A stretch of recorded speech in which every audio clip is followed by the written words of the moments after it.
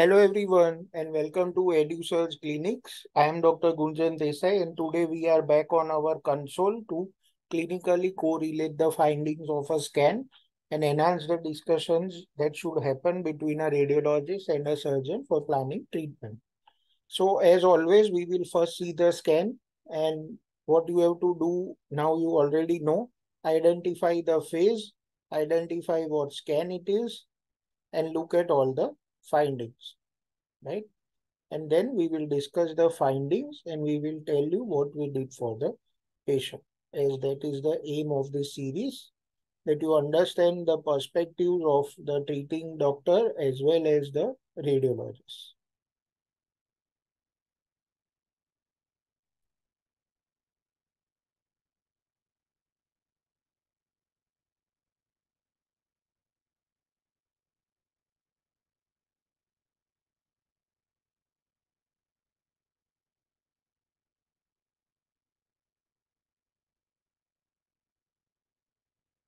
So that is one phase. Now going into the next phase.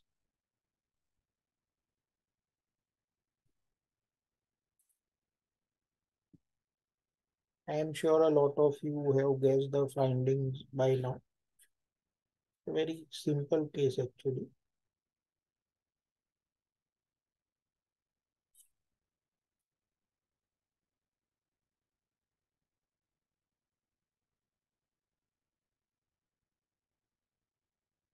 Okay, so let us now see this scan.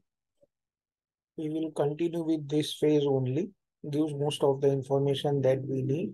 So you can see the pancreatic duct that is dilated, a bit of a pseudocyst in this area, right? So pancreatic duct is dilated. There is some stranding around the pancreas in this area. Minimal stranding is seen. You can see the pancreatic duct. That's the pancreatic duct right? Still dilated. Pancreatic duct, okay? Small cals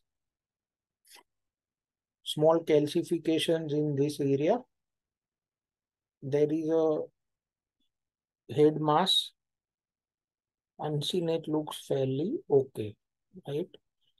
I'm sure you have guessed the disease by now. Calcifications in the pancreas and the pancreatic duct is dilated, okay, quite dilated. There is a small pseudocyst or a collection in this area with the duct communicating with it. So no points for guessing a case of chronic pancreatitis with mild inflammation in this area. So maybe mild acute on chronic pancreatitis or just chronically inflamed pancreas some atrophy of the pancreas. You can't see the pancreas reaching right up to the tail. So there is atrophy. Okay. Is there malig malignancy or not? You don't see any hypo-enhancing area in the head. Looks more like uh, head mass of chronic pancreatitis only, right?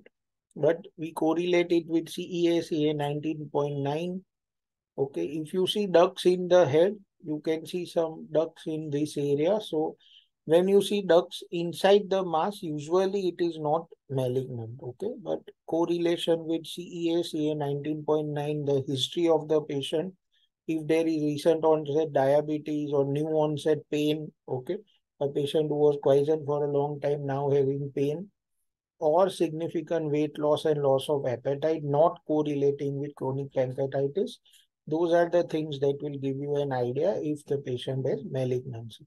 Now, whenever we are seeing these scans from surgical point of view, we also need to see the portal vein, the branching of the portal vein, okay, and the hepatic arteries. So that is where the arterial phase comes into play. You look at the hepatic artery, okay. So the hepatic artery looks normal in this. This is the artery that's the splenic, that's the celiac, right? So follow this. That is, we already discussed how to trace the hepatic artery. Can have a look at that video again. But that is the hepatic artery. This is the left hepatic artery. Okay, joining this one. this one, and going into the celiac. So arterial anatomy is normal. Okay, there are at least no radio opaque stones in the gallbladder. Gallbladder is not distended. Other thing to see in these cases is central intrahepatic biliary radicle dilatation, which is not present in this case. The bile duct is not dilated, right? So these are some of the points that you need to see. Bile duct dilatation in liver, central intrahepatic biliary radicle dilatation, arterial and venous anatomy. Because if you are doing a head coring and there is a replace right hepatic or common hepatic, massive blood loss can occur, right?